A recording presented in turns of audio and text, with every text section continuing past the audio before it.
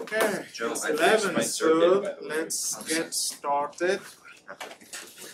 So it's like you really understand. I just needed the wire. I put this in Okay, maybe we can slide the door a little bit, not completely closed, just so we can focus and others can also do their stuff. sitting in Joe's presence.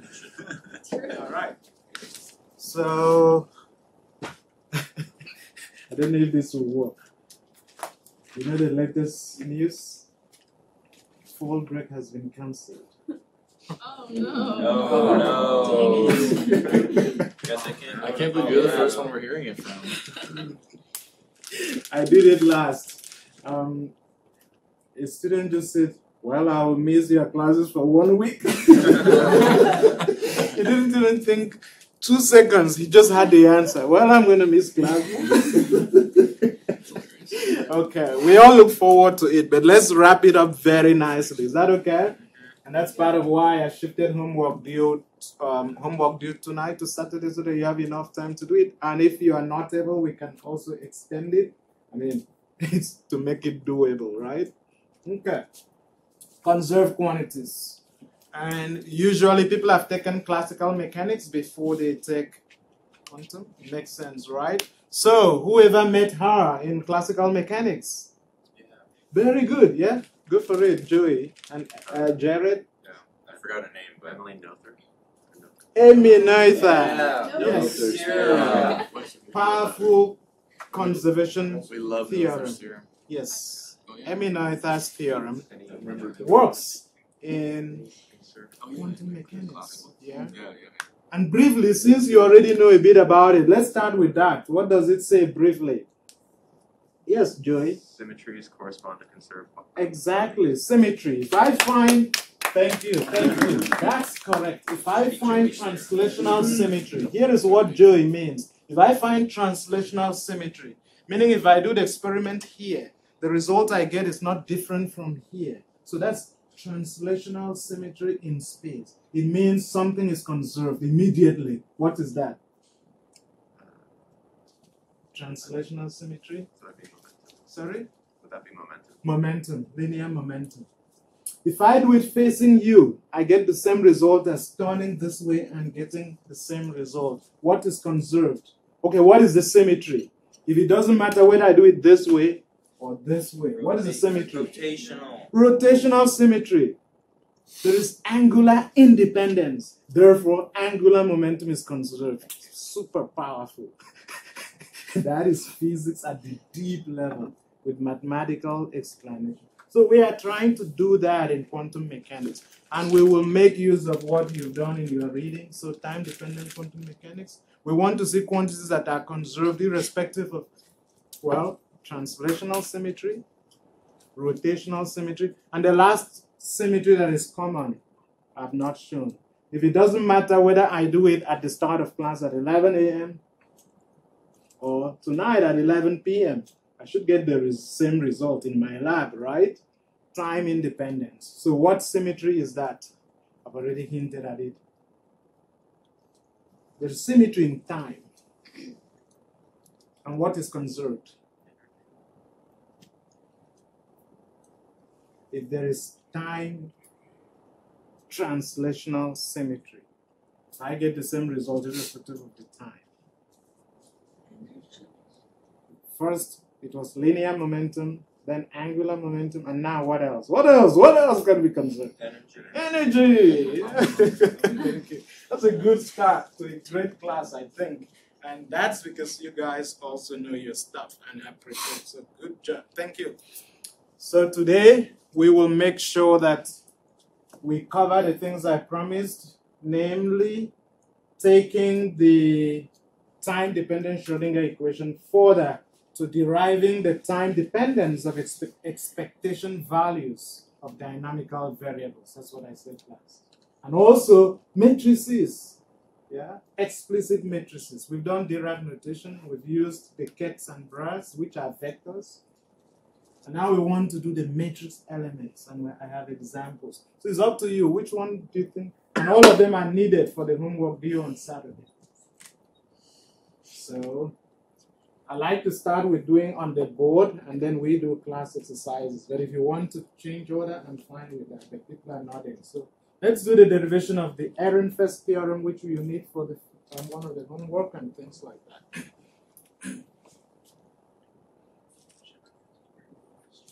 Okay, so just remind us, and I know you are looking at this, so good job. Yeah, we use this a lot.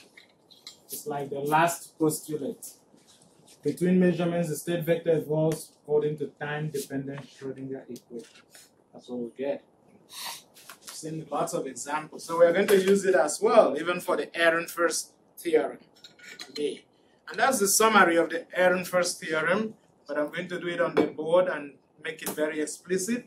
The book presents it, but skips some steps, and you need those steps for the homework. So I'm going to show it. It's almost going to be like the commutation of position and linear momentum xp. If you, we didn't do it in class, it would be hard for you to kind of use it when you used it in the previous homework. So x comma p minus, so xp minus px. We used the wave function and showed it explicitly in class. And that helps in so many other problems you've been solving. So we're going to do the same thing explicitly so that it will be easy for you to apply it. It's almost like even the proving that once normalized, the wave function stays normalized. Many of those steps keep recurring again, as you've seen. So when I choose to show details on the book, it's because it applies to so many things that we will do, including your homework and stuff like that. So let's move straight to deriving this Ehrenfest theorem explicitly, which you need for that homework problem. Okay. Okay.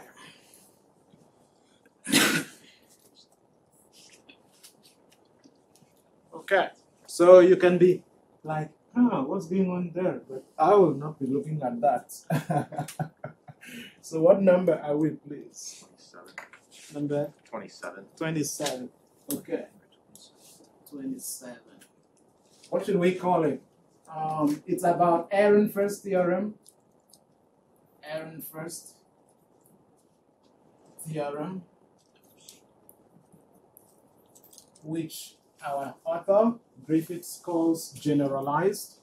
Yeah, because originally Ehrenfest did it only for position and linear momentum. He connected position and linear momentum with force and potential energy. So he didn't generalize it to all dynamical variables. So generalized in our case. So why are we doing it? So that I can put it here.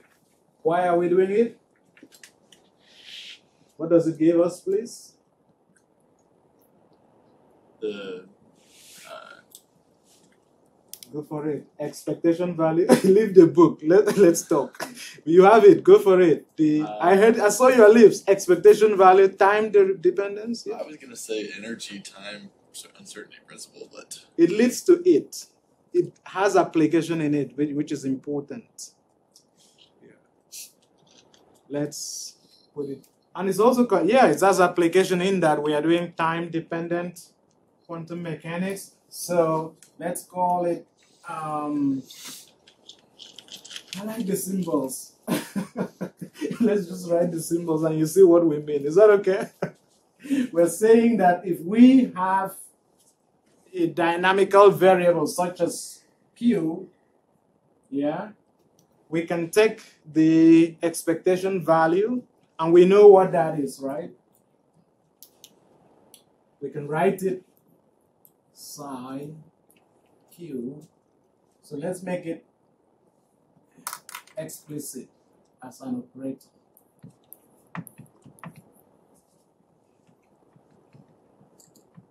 Yes.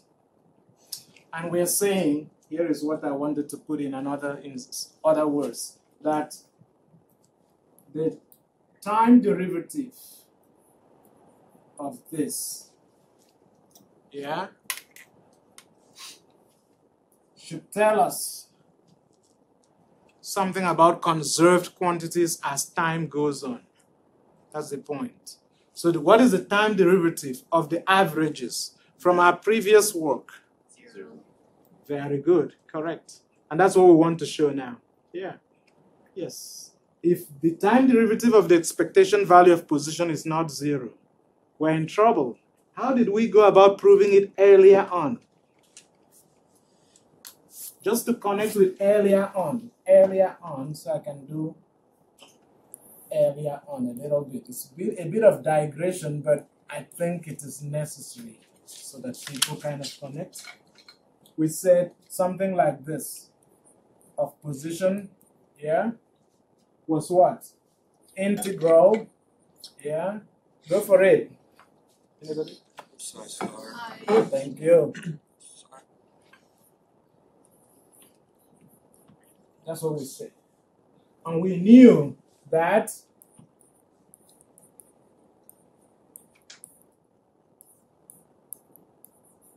equals what? Very good. Such that the time derivative of this picks up the time derivative of this. And since this is 1, and we knew how to show that this is 0, then the expectation value that relies on this is also, the, the time derivative of the expectation value of this also becomes 0. And our argument was x has no explicit time dependence. Because by the time, so x is not x of t. Our argument, yeah, you got it. That's the point. Can I continue? Everyone's just like, yes. Like, so let's do it. Zero. Show. That's what we want to show. So how do we go about it? Same. Okay, let's expand it thoroughly. Product rule, right? Just give it a name. Product rule. Apply product. So product rule applied to this up expression. You help me. Let's go for it. The expectation value dt will then be equal to I start and you continue. Partial psi partial t yeah of q hat psi the ket plus take over please go for it. Who tells us the second term? There will be three terms. So who tells us the second term there? Uh, psi. Partial derivative of q. okay i agree. So bra psi yeah? Oh yes. yes thank you. Partial derivative of q partial q and psi. ket psi thank you plus it's another one okay so this is the grace term right let's get another term in the second one. who goes for the last one here maybe Bra psi. Oh, okay, Alan. All right. Bra psi. Length Q. Thank you. Q. Partial psi, partial T. Partial psi. Partial t. Thank you. We've got our three pieces. Let's make this easier for us. I don't like trying to cram everything in my head. I just want to show it on my with my hands. Show it clearly. Since we see partial psi, partial t, let's use the time dependent Schrodinger equation. Time dependent Schrodinger equation. So let's write it so that we can just insert them clearly and make fewer mistakes, if at all. So IH bar partial psi partial t equals what? H bar psi, right? So clearly, which implies that partial psi partial t equals what? 1 over i h bar h hat, the Hamiltonian operator, psi. So this is what we're going to insert. I like to put this little bit of yeah. Okay, let's insert that without much ado. Okay. partial psi, partial t, but it is a blur. What's going to happen? What will it be? Let's insert it. Okay, let's start this way. I H bar. Yeah. Should work. Psi. Q hat. Psi. Plus. So we've got our psi. Partial Q. Partial T. And psi stays there. Plus what? Yeah. We just inserted 1 over i h bar h psi. Okay.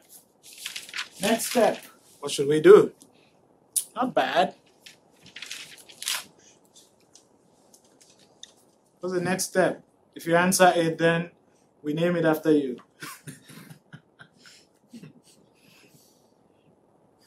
yes, Millie? Can we try to conjugate either the first or the last term? Ah, the conjugation, that's the Millie step. That's correct. We are going to find a way of making a commutation. And so we, Millie says conjugate, which is okay because it means we take something out of this complex conjugate. Yeah, so she's right. So the Millie step, try to get something out of the bra so that you end up being able to get the commutation. Is that okay? So what will happen if we pull out this constant out of this bra? What does it become? Negative. Negative. So we've got 1 over negative i h bar. I don't want to skip steps because if I do, there will be there will be confusion. But you're going to permit me to condense something right away. Can we condense this a little bit? What will it be in condensed form, please? We wrote it at the start. So in condensed form, expectation value. of of the time derivative of q, partial time derivative of q. So let's condense it. We're trying to show. Partial q. Okay, now it is stop.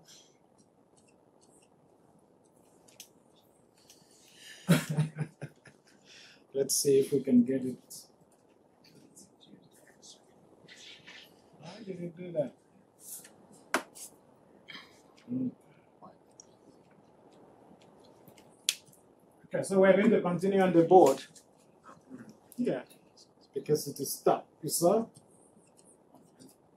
Let's continue on the board. Who has the? Glad we have the board. So who has the camera thing? Yes. And we can be looking at what it is showing so that we have it right. There he is. Man, the myth that I see. Okay. So are we together? Yeah. With the See what happens. partial inside, I we think have a different. folder on the the, outside. the brackets. All right. So let's continue step four. I'm going to rewrite step four here. Might not make any difference, but Step four. We've got enough room. Step four. So continued. Continued. Step four was dq hat dt equals.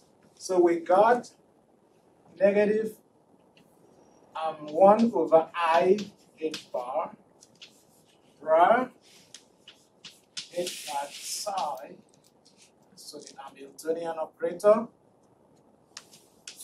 Then what was it here? Q and our ket plus what we just condensed partial Q at partial T the expectation value. Do you agree? Oh, thank you. Yes, so it's expectation value of this Q right there. Thank you. Great. That's important. yes. Plus then you want us to pull out the I H bar as, as well? Yeah. Thank you. So 1 over I H bar psi. Where is the H going to be and where is the Q? If we mix it up, this is why we are doing it thoroughly. If we mix the positions of the H and Q, we're not going to get it right. So what is here first, Q or H? Q. Very good. We have to keep it. And we can always pull the H out here. Yeah? Because that's how it works. Any questions so far? All I'm saying is that H ket is the same as this ket with H inside because it's going to operate on it anyway. Yeah, that's how you actually do it. So, we're almost there. Huh. What is the next? We're almost there. Me take a look. To make it very transparent, let's do something. At this point where you have a negative, okay, we can actually multiply by i over i. So what will that be? So dq dt then equals, so i over i. i times i, negative 1, and then the negative there. So we've got i over h bar. What can we do to this h? It is inside a bra. Move it to the other side. Great. And what should it become? H. H dagger, right? But it is Hermitian. So we can put it now as just H with impunity. You can't do us anything. Our H is Hermitian. Yeah. Yes. Are we taking the conjugate of that or? I'm just pulling it out because that's the meaning of good question. So I can show you by the sign here. It's just the meaning of this. That's the meaning. Yeah. So if you want, I can write explicitly what it should be and then claim the hermiticity. Yes. Don't we need to put the H on the right side of Q? Because we're, No. we're gonna write Q right after, right? Don't worry, it should work. We're still working. Yes. Did Yes. you go from there? Yes. That's what it is. Did I answer your question, Carter? I would think that the Q would be first. I think that's what That's what Joey Joey yeah. Oh, Why would the Q be first? Because I, when you take the conjugate, doesn't it flip it to the other side and the Q would stay in the middle? Which Q? The Q operate? The only thing we've done, okay, the only thing we've done is to pull this out of, so we've not flipped the Q, the psi, we've not flipped sides. I see what you mean. If we wanted to flip sides, which is good idea. we didn't take the conjugate of everything. No. Okay. You good point. You that's what I wanted to show you. You got it. So let's make phi here. Yeah. And make h and make psi. So you guys are telling me to apply this, right? Which would have flipped this side over here and made this guy. That's not what we're doing. Okay, gotcha. Okay. sense. Yeah. We are only treating this, we are only getting the H out of this. Is that okay? But your question is very much in order because sometimes you have to do that. Okay? so, so, so, so. We've got that. Can I remove the, because it is Hermitian? Yeah, thank you and then I can put my Q and put psi plus, and this is where you will be happy that we did what we did. Maybe we can put this last. Yeah, hmm. just put it last. So we did I over I, right? so now let's do the I over I here. What do we get? I times I downstairs minus. So we've got a negative here. Minus, yeah, I over h bar psi q h psi plus partial q partial t. Check. Is that okay? People are happy. I am happy too. Let's look well, guys, everyone. HQ minus QH. Ha ha! Hoo, hoo, hoo. What is that? Computation. The Commuter. the word, the commutator. Yes. Yes. You see that we got the commutator mm-hmm. of H and Q. Yes. So we can write I by H bar commutator of H and Q. That is what we have there. Expectation value. Because each expectation value plus partial Q partial T. Without much ado, this is good. So let's make our conclusions. We can put this in a box. This is the generalized Ehrenfest theorem.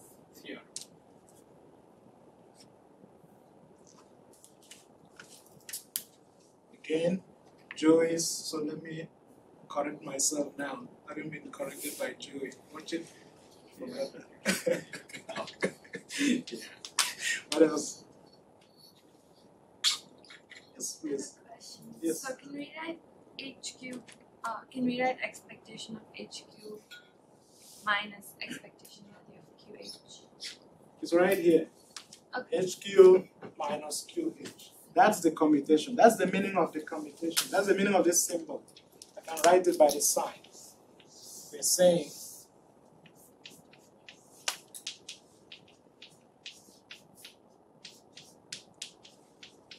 it's just the definition.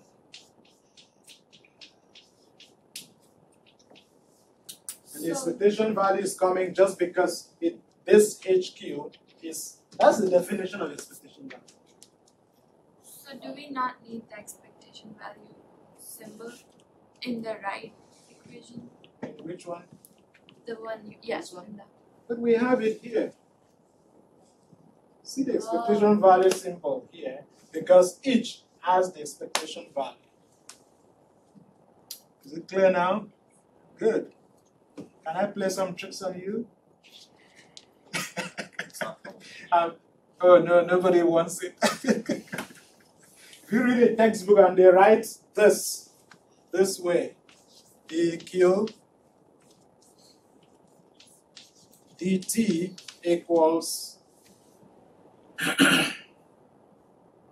okay. Um, let's let me get it put it this way. Q comma h expectation value plus partial q partial t expectation value how can we make this correct? I've made it less of a trick. See, from our derivation, it is h comma q. And the order matters. But some books write it this way. You got it. Yeah, put a negative there. Yeah, so you got it. Just, just making sure. Yeah, just it happens here at how you handle it. Okay. So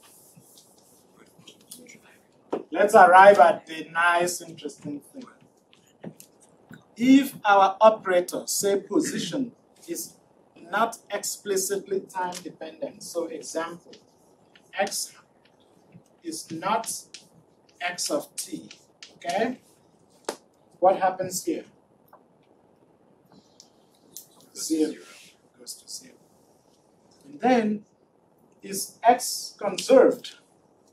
The next question, the way to handle that is simply to say, well, and by the way, almost all dynamical variables that we are interested in are do not have explicit time dependence. So position, momentum, etc. So this is usually zero. Next, Ehrenfest's generalized theorem is telling us nicely that if an operator commutes with the Hamiltonian, that the dynamical variable represented by that operator is conserved. Wow. if angular momentum commutes with the Hamiltonian, then you can be sure that angular momentum is conserved. Sweet. It fits with Noether's theorem, a way to get conserved quantities. So in the homework, you're going to do this a lot. you're going to find, for example, the commutation of xp, the product. Yeah? Which you can get as the commutation of x times p plus the commutation of p times x. So in each case, what you need is the commutation of h with x, the position, and the commutation of h. And we did an example in class, a powerful one, when we did the commutation of what? p with x. The same thing you're going to do. Remember, what was the commutation of x and p? I H bar. We did it explicitly. What was our method? What was our strategy? How did we show find the commutation of x and p? Check your notes. Very good. That's a good place to switch back to the slides.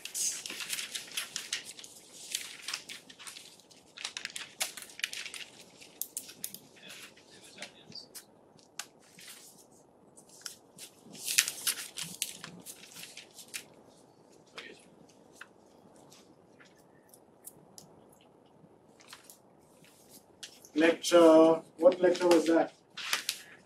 Nine or ten?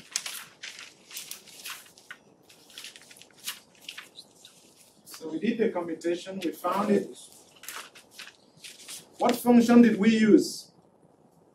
Once you answer, I know you are there. So we use x, we use p, and what other function? Psi. And we call that a test function. So operate it on psi and see what you get. Write p in terms of x, which is negative ih bar d dx. Operate each of them on psi and according to the order and see what you get. That's what you're going to do here. Write p explicitly, write h explicitly, operate it on psi, and you will pick the expression here. You'll find that h and p do not commute. You will find that h and x do not commute. Yeah? So, in order for you then, it also it simply means also something we'll do later that they do not share eigenfunctions, which is cool. we will see that. So, that is small hint for homework.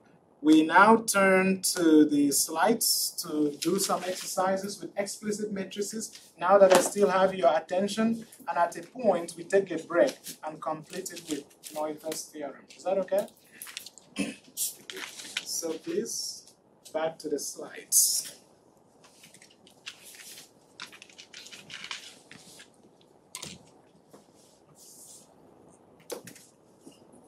Okay, very good.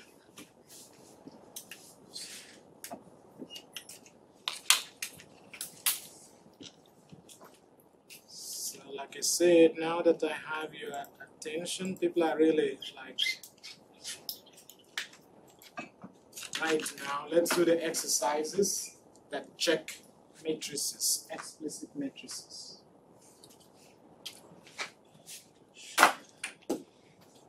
Okay. Yeah.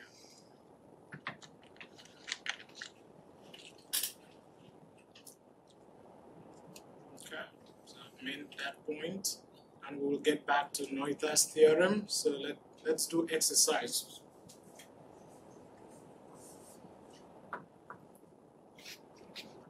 Okay. So get ready. We've got a ket. It's a column vector. So your pens and your maybe calculator. we've got a bra. V is just any symbol. It's a row vector with complex conjugates. Yeah. So this makes it clear that the bra does two things transpose and conjugate. So, can you then write this transpose conjugate of V what as a bra? What should you, you get? You- Everybody needs to work. We've got like four problems to solve together. So, write it and we see.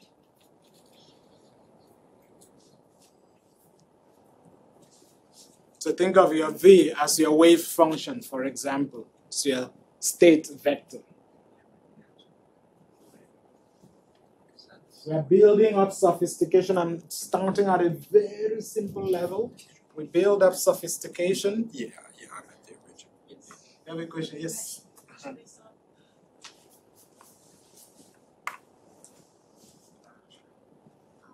so we apply the transpose conjugate Because you're conjugating. They're You're already conjugating a On bra, You're conjugating. bra V. Good That is the question. Yes. So Millie asked a good question. Here is her.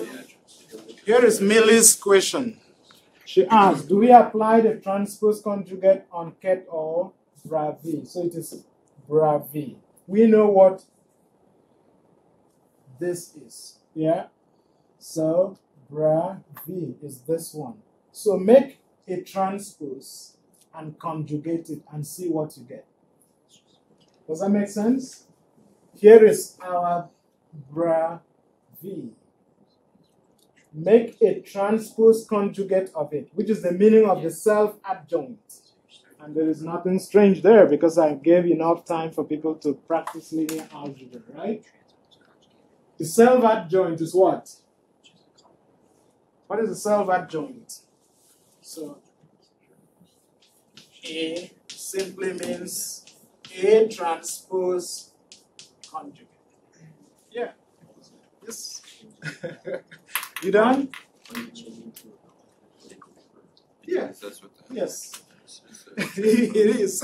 And I quite appreciate that you didn't waste your time. There were- Any dagger is equal to the conjugate, the complex conjugate of the. So this shows me those who, So the who read the appendix as I gave enough time to and transpose even gave it from a credit for. row to a column, And then you take the complex conjugate, and then the complex conjugate. Yes. of Some of you were just like, it's it's this. You didn't even bother to do that.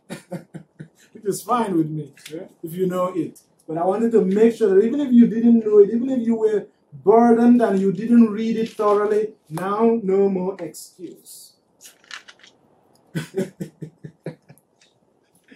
All right.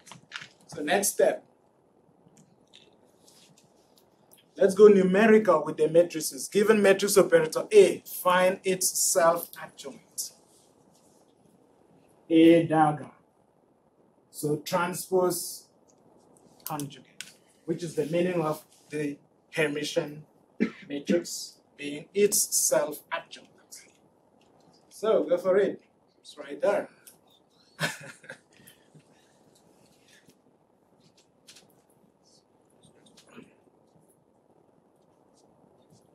I can take questions.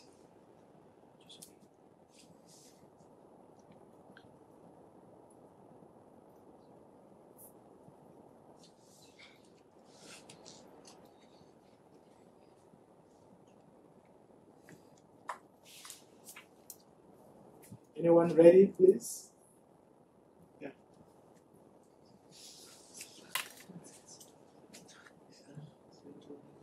Comes in negative to here, and then it's in to and then you but um, these are not complex numbers. You've done the transpose. I do it. It's not supposed to. Your conjugation is not a complex conjugation. You, you you know what I mean. It's a conjugation. It's just It's not a complex. yes. Yes. it, uh, it affects the eyes. Is that okay? Yeah. You know what I mean. Yes, please. Can we check our work together? Just I'm building up sophistication gently. Real So somebody added negative signs there. Not yet, because it is not com- it is not a complex. These are real numbers. So not yet. But we'll soon do that one. So everyone got that one? Any question? Good. Let's do the next one. Now it gets more like the real thing. We've got our A, and there was a reason I had A. Look, it's a symmetric matrix, precisely a square matrix. We've got our bra, which is what it should be, a column matrix, no ordinary numbers. We've got our ket, in this case, a column vector with ordinary numbers. That's easy. So here is the instruction. We want you now to use what you have to calculate the operation, the matrix operation of operator A on ket psi and operator Oh. That's interesting. Not yet. you didn't see it. It was too so quick here that you. so finish that, okay? And we check. You know what to do, right? And you can work together and check your works to make it more fun. More fun.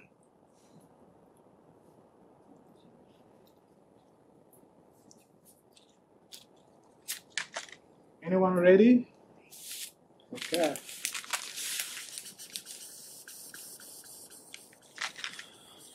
Same result, right? Which proves that A equals A dagger. We got a Hermitian matrix. Yay.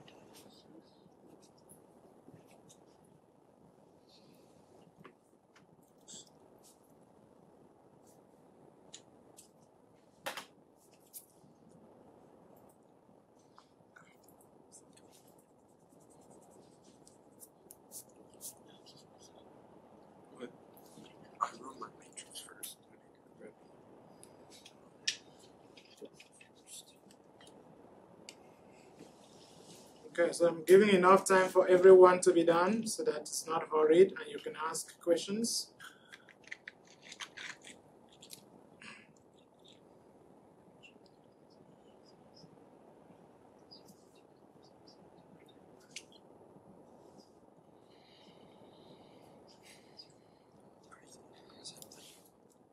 How many are ready to check their work?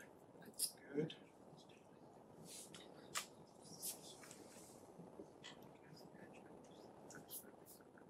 Yeah, check the numbers. Yeah. Check your work. Okay, now check your work with each other, and you'll be surprised at differences. No, it shouldn't. This one be. This one can be. Yes. Check your work with each other, please. No, Which, where, where are I need real groups?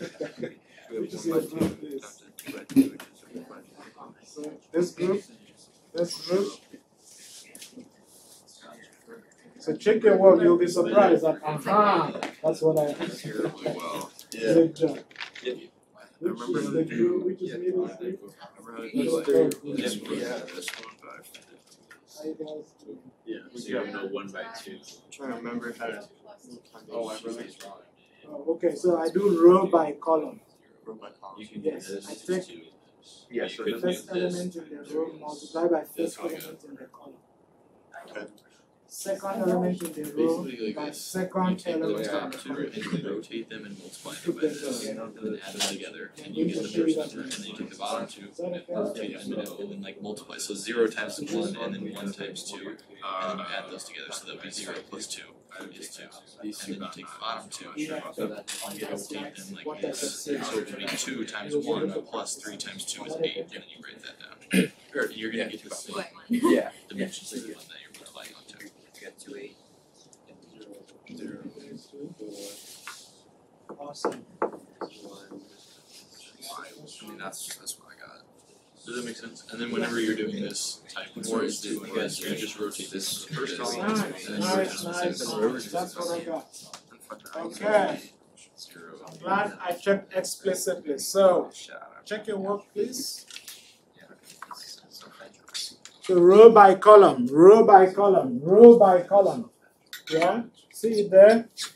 Row, column. That's it there. Zero times one. Row by column plus, see, one times two. Row by column, row by column. I use my fingers when I'm doing it. I'm sorry, but it works for me. What works for you? Just looking. If I keep looking, I mix it up. I actually do by column. Okay. So, good. Everyone got it? You can check your work on my slides. So, it means then, as we said in the Dirac notation, that this is the meaning here. It's a bra. Like if you make a complex conjugation of the ket, you get a bra. Yeah. And this works, so this is a, a little bit new for you, but it works. It's the same thing, just carrying it further. Any question? Good. Another exercise. Okay, that's just illustrating it, giving a ket.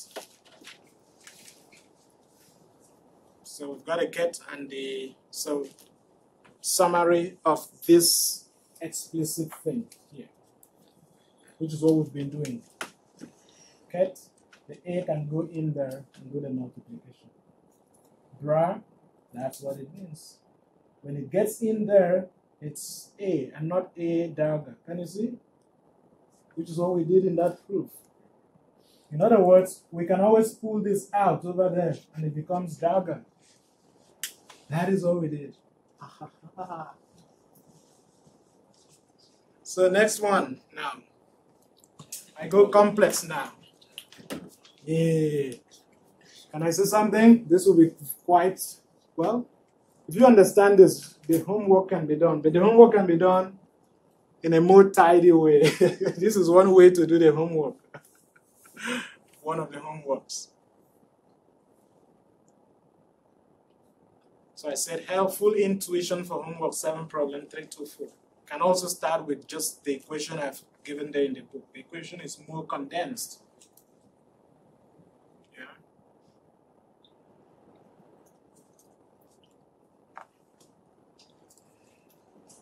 So you are given that, calculate A psi and A ket psi and A dagger bra psi.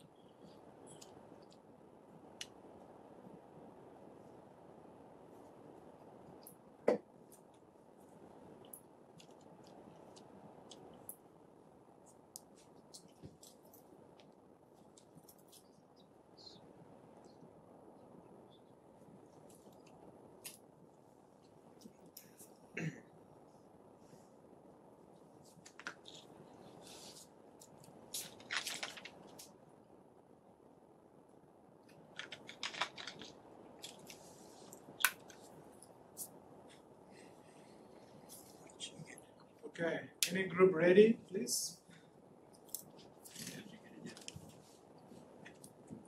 Check, so check your work with each other.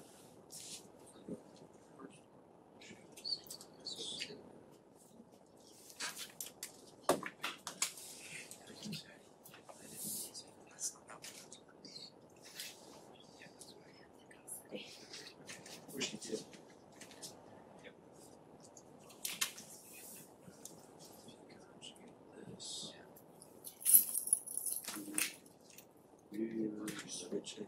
I, I switched the order of the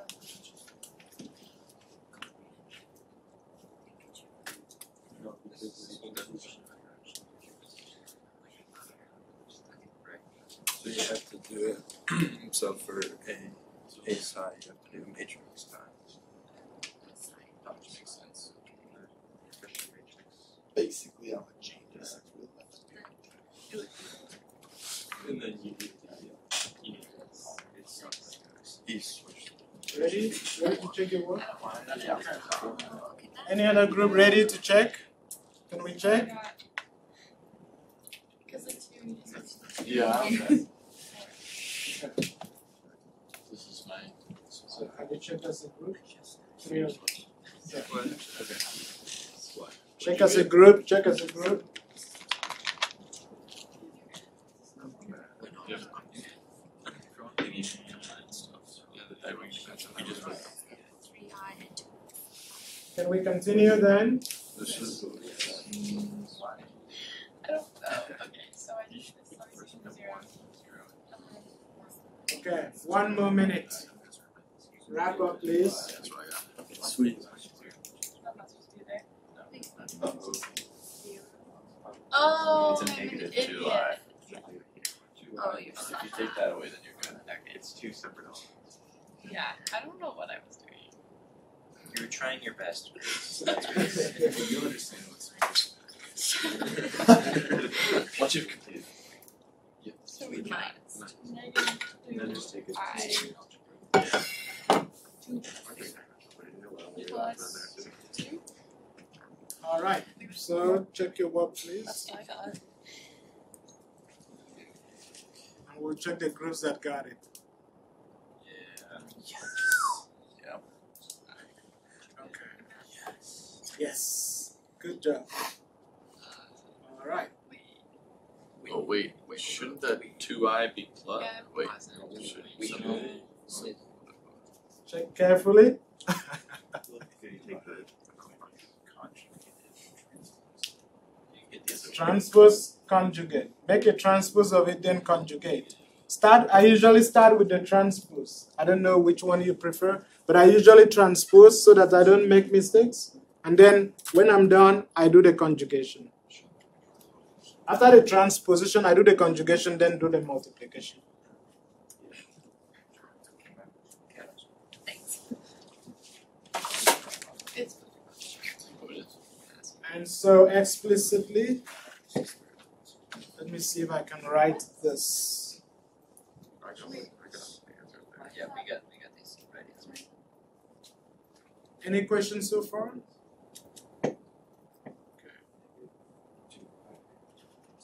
So let me see if I can. So you can use this. Okay. So we'll do the next one, but before then, I wanted to show you. Let me show you on the board.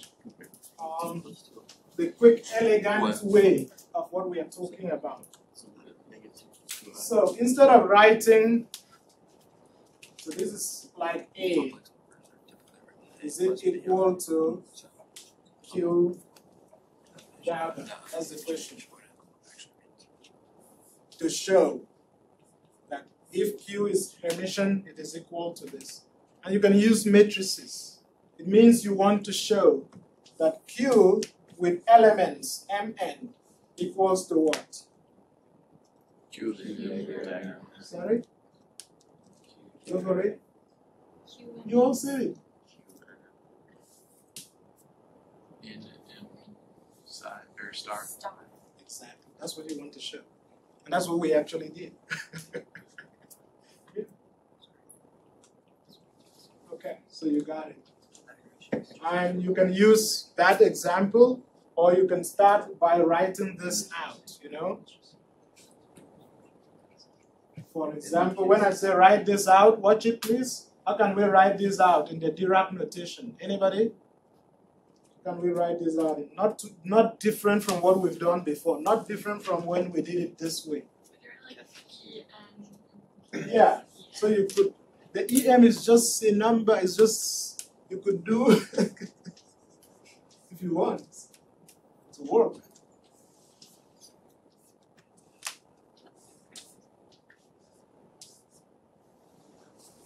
Or you could Yeah, the reason the book lies likes something like En is to connect it with what you know in classical mechanics about unit vectors. Yeah, it makes intuition. So En Q. Yeah, and E. Yeah, you flip it. That's what we've been doing. So next one.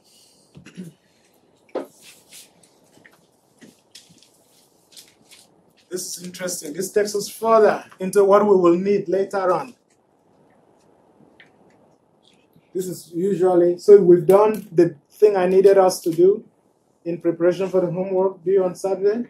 This one is just taking things further.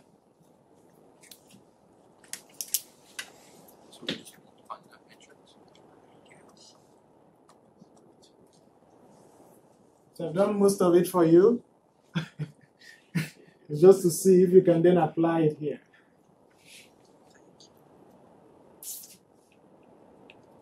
So the projection operator projects the part of psi in the direction of phi.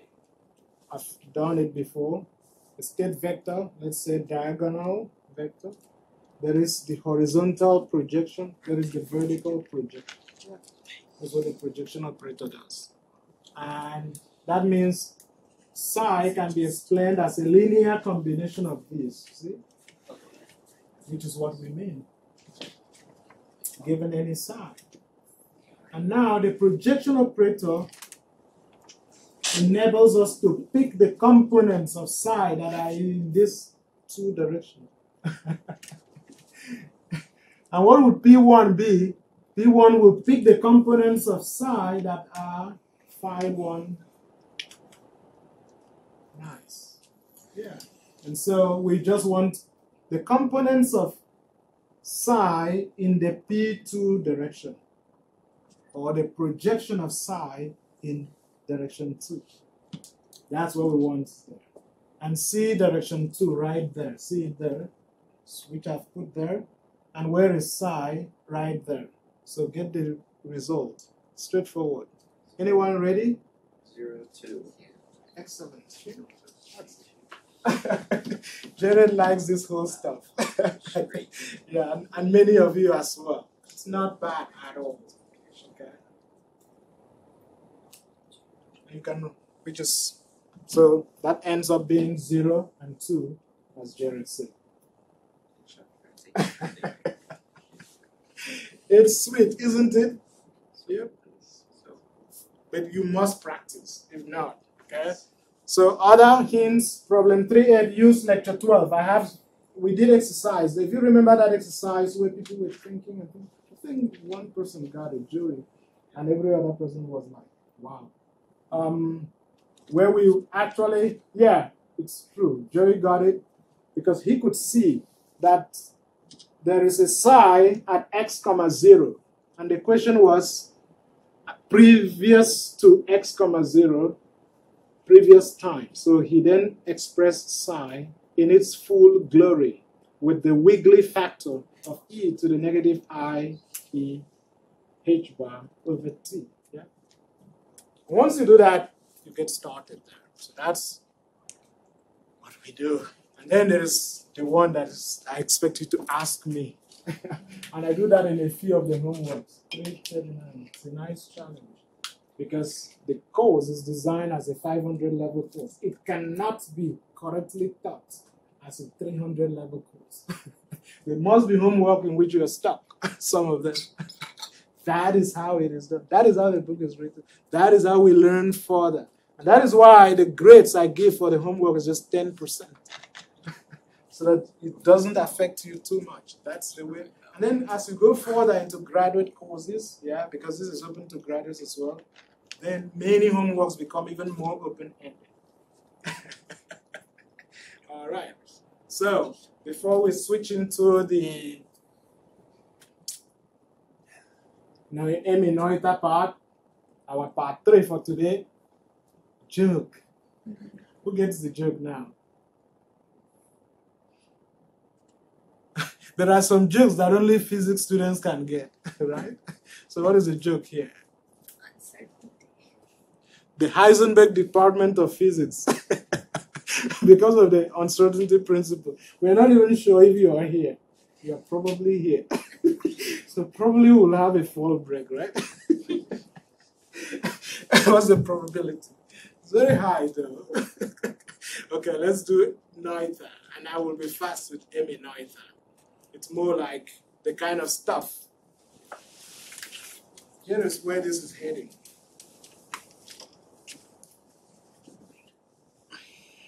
Ad libitum. I usually ask students to pick their choice, whatever they found interesting, and they ask me, and I will give a lecture on it. That is not covered in any of this. One of the best that I really liked was when they asked me to do the Dirac equation, because the Dirac equation, so Schrodinger equation is non-relativistic. It's non-relativistic quantum mechanics. The Dirac equation is relativistic quantum mechanics. It takes into consideration relativity. Yeah? so we quickly did that. So the other time it was spin, applications of spin in communication. That was last year. It was also super cool. And That's what's good. so that's one reason I'm doing the Noether theorem, in case you pick it up. Another reason is this.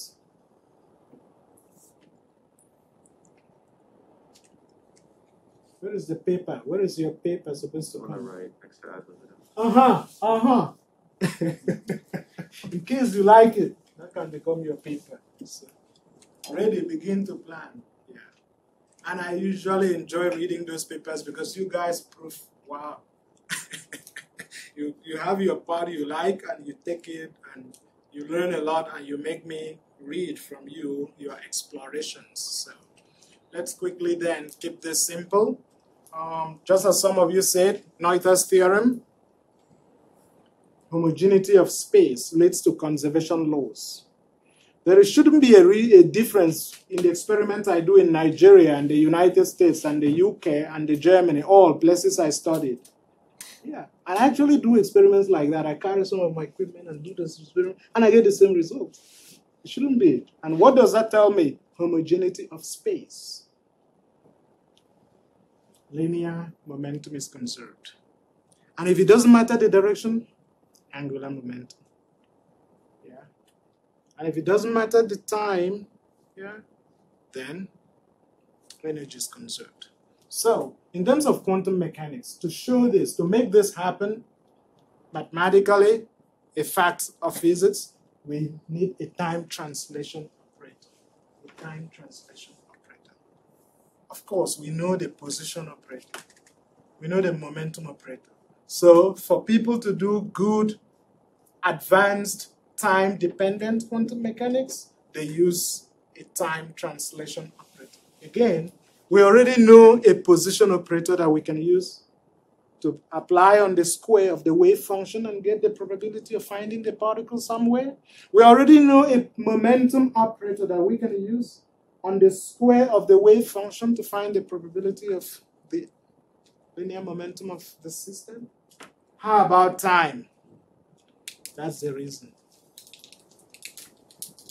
So, it's a bit involved, but it works. So, time translation will lead to conservation of energy. Space translation, linear momentum. Doesn't matter where you do it. Rotation, doesn't matter the direction. So, those operators exist in quantum mechanics. And I will quickly motivate and not show, I'll just motivate how such a translation is done. And that allows us to start by revising Noether's theorem. States that any differentiable symmetry of, an, of action, that means law of a physical system has a corresponding conservation law. We said it. Yeah? Space invariance. Doesn't matter if I do it here or here. What is conserved? Linear momentum. Okay? So we've done that part. Okay? In quantum mechanics, then, it means we take the state vector. We have an operator that corresponds to the observable we are measuring at location A. Can we do and get the same thing at location A prime? That's it. And that is obtained mathematically by the transformation. It's just the transformation of the matrices. A map of one onto the other, a map of the system. That's how it is achieved in quantum mechanics. And the operator that enables us to do that mapping is called the unitary operator. Very cool. That's what the unitary operator can do. It can take psi onto psi prime, allowing us to show that in the end, the eigenvalues we get here will correspond to the same eigenvalues here, proving time translational invariance, and therefore conservation of energy. So, how are we going to derive it? Yeah, a little bit involved, but that's what we get. U dagger U equals 1. And this 1 is actually a matrix, it's a unitary matrix. All diagonal elements are 1. You know what I'm saying. So it can be done, and it can be done by some expansion, Taylor expansion to do it. And I'm, I have it on my slides, which you can look at. It's not really a big part of the lecture. But the intuition you get is that this unitary operator is an exponential in the Hamiltonian. So when you get matrices with elements in the exponent, you shouldn't be scared.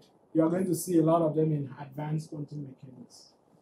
So what this unitary operator is basically doing, which is a little bit, it gives you an expression similar to one of the, the most challenging homeworks. So what this unitary operator is basically doing is to cause a rotation in time. Yeah, it can actually rotate the system you like time translation. See? And it fits, it does that with the Hamiltonian. And remember what happens to this guy? It goes away when you do psi star psi. So it doesn't matter whether this guy is there because you have two of them being one. If you do the complex conjugate, you've got u operator and u dagger will then be plus right there. Can you see? And that gives you one. but at the same time, this u dagger, u will map your state vector onto a different basis, onto a different system, showing the conservation of energy. It's just sweet, but I agree, I haven't given you all the details, okay? So, those are there, we can go back to it. So, let's wrap up what I've already said in connection with the ad libitum topic. So if this makes you remember the contribution of Emmy Noether to physics, great. If not, perhaps you might arrange for us to discuss in office hours, or we can do it also as part of ad libitum. The last time I explained Emmy Noether's theorem, this is what I get. This is just for fun. I got. okay, at the end of the class. I think it was, that was a long time ago. Guess how long? This, it was here in Creighton University. Guess how long? When I was a TA. it turns out that that is actually when I took this course I'm teaching now. 2006, yeah. But, wow, 15 years ago, thereabouts. Yeah, 15, 2006, not 16. I was five. Oh, okay. and it seems like yesterday to me. Oh, how time flies. so we got there, and we have a few minutes for questions in general. I didn't want to leave us hanging. So. Questions?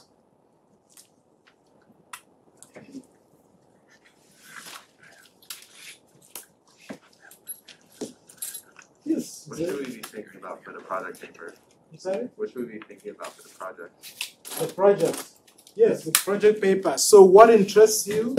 What fits your career goals? and what will allow you to do all that is described about the project paper. And usually that is where students catch up if they didn't do very well on exam one or two, because it's really possible to get a 98 there. The, I have posted the grading scheme, what is it called? The rubrics. If you follow it and write a solid paper in the style of physics publishable paper like papers in physical review, and usually you guys do it. I just enjoy reading it. I can I tell you a few papers in the past. One guy did, um, I think he's Max. Max Downs. Max works with um, um, Dr. Barut because his research has to do with magnetic spins and things like that. He did a beautiful paper on how to use spin in quantum mechanics for storage devices and in view of spintronics, something I just introduced barely in lecture. So from spin and spin as a quantum number to spintronics, replacing electronics. And he picked it up, gave a nice, wonderful paper on it. So that's an example. You pick something that interests you, relevant for your career. Maybe biomedical physics people. Um, last year, some of them picked something like NMR. Aha, which reminds me, let's wrap up the class with your experience with the MRI. I told you at the beginning of class when we call it NMR, nuclear magnetic resonance, people were avoiding it. The name was changed to magnetic resonance imaging. People started taking it. The basis is spin, which shows up in an external magnetic field. Tell us your experience of MRI. Yeah, I had to get an MRI Tuesday, and um, I don't know. We just talked about how the Pauli exclusion principle leads to spin up and spin down, and um, and when you're in that external magnetic field, that big ring, it's really loud, and the magnetic field is going pretty crazy. Uh, all those states just line up or anti line up, up or down, and Correct. that produces the images. So, Exactly. And they inject you with a little thing that localizes at where they want to see the images. yeah, the Yeah, contrast dye. yes, the contrast. Yeah, yeah. Super cool. It's real. And now he's here to prove that the device works. The I quantum mechanics works. See you. Enjoy your break. Yeah. Something I did. Oh, dude, I was worried.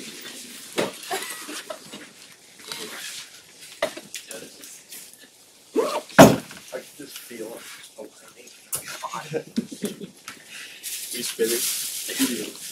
the poly.